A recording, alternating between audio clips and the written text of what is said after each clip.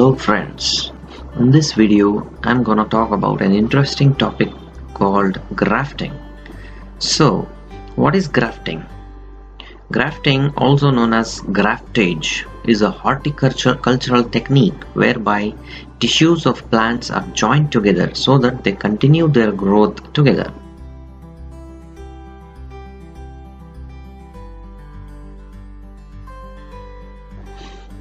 Part of the combined plant is called the scion while the lower part is called the rootstock. The grafting technique is most commonly used in asexual propagation of commercially grown plants for the horticultural and agricultural business. In most cases, one plant is selected for its roots and this is called the stock plant or the rootstock plant.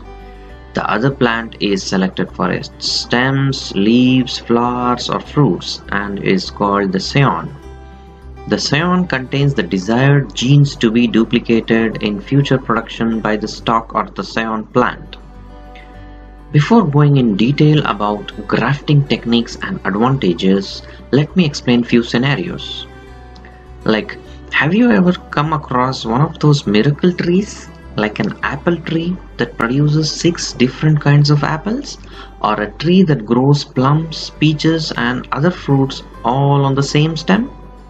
Uh, ne next, talking about another scenario like you buy an orange tree that has the strong roots of one variety but the delicious fruit of another variety.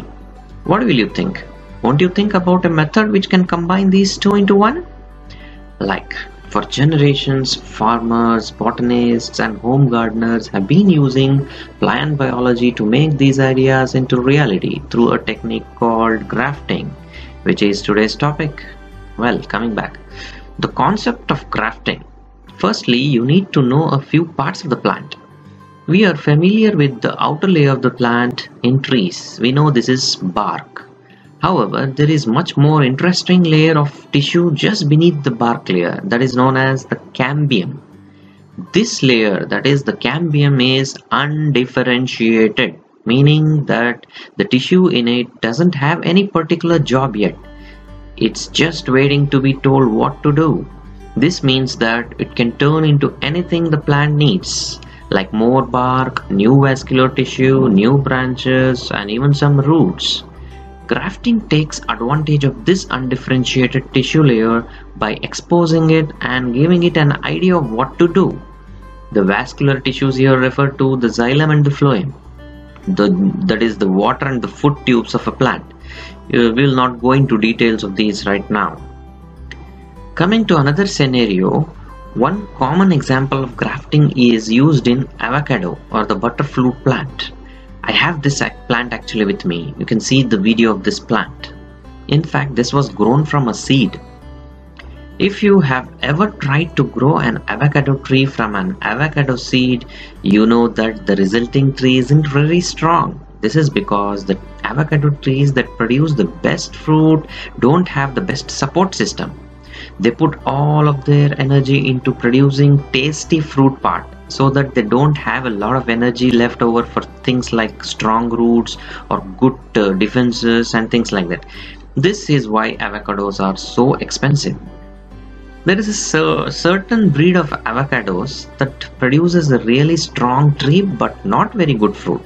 This tree can live in many different kinds of soil and the roots defend themselves from diseases. But no one wanted to grow these trees because the avocados were not tasty. Thanks to grafting, it is now common practice to take the scion from one tree and graft it into the rootstock of the other, producing a new tree with strong roots and delicious fruits. Wow, what an idea! Isn't it? All this thanks to grafting. Now coming to various grafting methods. Grafting is pretty easy thing to accomplish. There are several types of graftings that you can choose from depending on what you want to accomplish. First thing is the approach grafting, first method. Here two fully formed plants are attached together at their stems, leaving the leaves above and the roots below intact without completely cutting anything on both the plants. A small pod on the side of each stem is stripped of bark and the newly exposed tissue is pressed together. The stems are tied together to allow time for the tissue to heal over, kind of like forming a scab over a cut or wound in medical practice. Well, this plant scab is will bind the two stems together permanently. Next method is T-budding. It is a technique in which the scion is reduced to a single bud instead of a whole branch. The bud is removed from its original plant along with a small portion of bark and the underlying tissue. It is then nestled into a cut made into the rootstock stem and tied in place. After the graft has healed over, the stem of the rootstock above the newly grafted bud is removed and the bud will grow.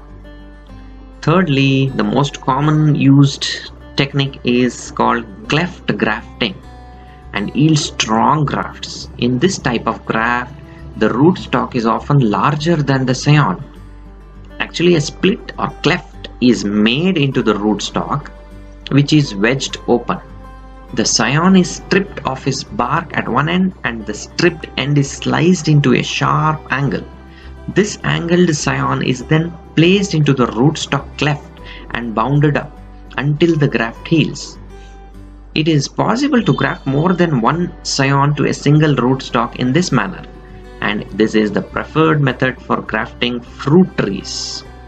There are many other specialized techniques for grafting but the basic method is the same like exposing the cambium and encourage it to form new vascular tissue. The more cambium exposed, the stronger the graft and the more likely your new plants parts will live. So coming to the factors for successful grafting. First thing is compatibility of scion and the stock. Because grafting involves the joining of vascular tissues between the scion and the rootstock, plants lacking vascular cambium cannot be normally grafted. As a general rule, the closer two plants are genetically, the more likely the graft union will be successful. Secondly, the cambium alignment and pressure. The vascular cambium of the scion and the stock should be tightly pressed together and oriented in the direction of normal growth. Proper alignment and pressure encourages the tissues to join quickly, allowing the nutrients and water to transfer from the stock, root to the scion. Proper care of graft site is must. After grafting, it is important to nurse the grafted plant back to health for a period of time. Various grafting tapes and waxes are to be used to protect the scion and stock from excessive water loss. Furthermore, depending on the type of graft, twine or string is used to add structural support to the grafting site. Sometimes it is necessary to prune the site as the rootstock may produce shoots that inhibit the growth of the scion. Now coming to grafting tools. We use uh, various grafting knives or cutting tools. They have to be really sharp to minimize the tissue damage and clean from dirt and other substances to avoid the spread of diseases. A good knife for general grafting should have a blade and handle length of about 3 inches and 4 inches respectively. Now graft seals. Keeping the graft site hydrated, good seals should be tight enough to retain moisture while at the same time loose enough to accommodate plant growth. This includes specialized types of clays, waxes, petroleum jellies and adhesive types. Other tools like tying and supporting tools like supporting materials are required. Then uh, one more thing is grafting machines are sometimes useful for automation because grafting can take a lot, lot of time and skill. So grafting machines have been created for automation and fast job. Well, there is a lot more about grafting. We'll not go into the depths. That's all in this video friends. See you in another video. Till then, take care of yourself.